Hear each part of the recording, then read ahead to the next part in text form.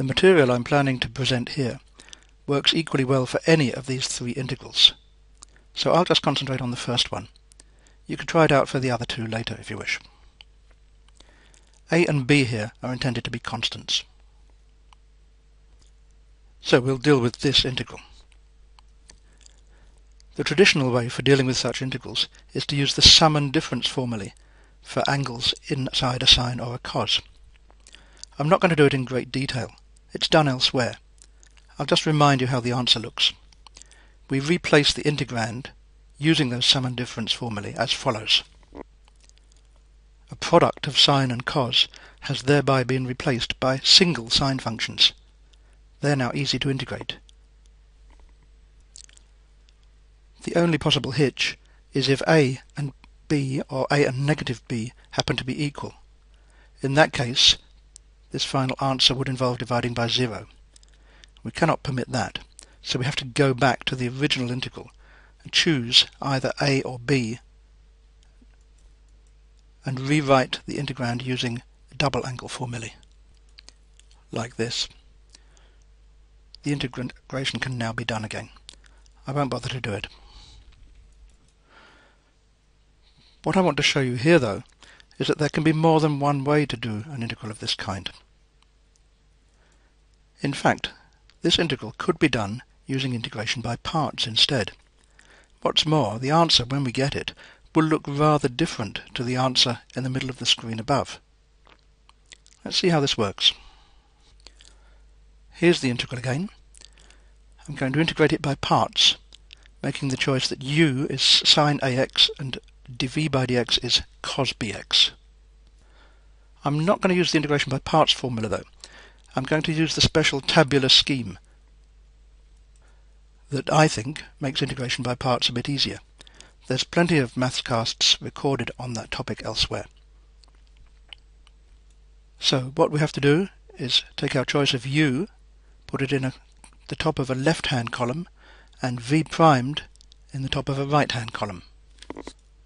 The scheme then says that we take the left-hand entry, the sine ax, and persistently differentiate it, forming a column of derivatives beneath. We stop, usually, when the derivative gets to zero. However, that's not going to happen here because sine ax is not a polynomial. In hindsight, I remember that we've met situations like this when we do cyclic integration. So in fact, I'm going to stop after just two differentiations. On the right-hand side, we do the opposite thing. We persistently integrate. With those columns set up, we then alternate the sign in front of them, starting with plus. Next, I put some connections into the table. I've used the convention in the past that if I draw a red horizontal line, it represents an integral of the product of the things at each end of the line. So, for example, the integral we're trying to perform is represented by drawing a red horizontal line across the top from the sine ax to the cos bx. In anticipation of what's coming, I'm going to call that integral capital I.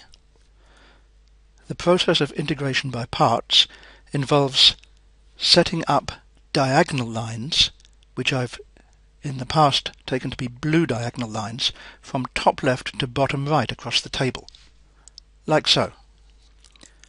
The blue diagonal lines represent terms in the answer on the right-hand side that consist of products of the functions at the end of each line. I take into account the signs at the front as well, the plus and the minus. With this particular integrand, we could go on integrating by parts forever and never get anywhere. So instead we have to choose a place to stop. But when we stop prematurely, that usually means that there's going to be an unintegrated term, that is a surviving integral. In this case, it's the product of terms at the bottom of the table, which I'll now connect with a red line. That product of terms has to be written as a surviving integral on the right-hand side. Notice it has two minus signs and the coefficient a squared over b squared.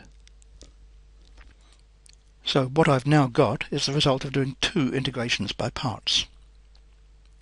But look, what about that last integral? It's nothing other than a multiple of the original integral i, isn't it? i was the integral of sine ax cos bx. So let's replace that integral with i. I'm going to do that by deleting the whole thing and just rewriting the i. And of course that's the standard way that cyclic integration works. We end up with a multiple of the old integral on the right hand side which we can then pass to the left hand side rearranging the equation and solving for i. So there's the next step. Before actually rearranging to solve i, I'm going to multiply both sides by b squared in order to avoid quotients underneath on the right hand side. So there are the factors of b squared and then I can expand brackets to get the following equation. And finally do the division. Once again the situation where a is equal to plus or minus b is anomalous and has to be treated differently, in fact the same way that we did before. However, here integration by parts has given us a different view on this integral. It's still a correct answer, but it looks a bit different to the original. I'd like to leave it as an exercise for you to reconcile these answers and show that in fact they are the same. You'll need to use the sum and difference formula for sine and cos. Here's a reminder of the original answer, the traditional way of doing the integral.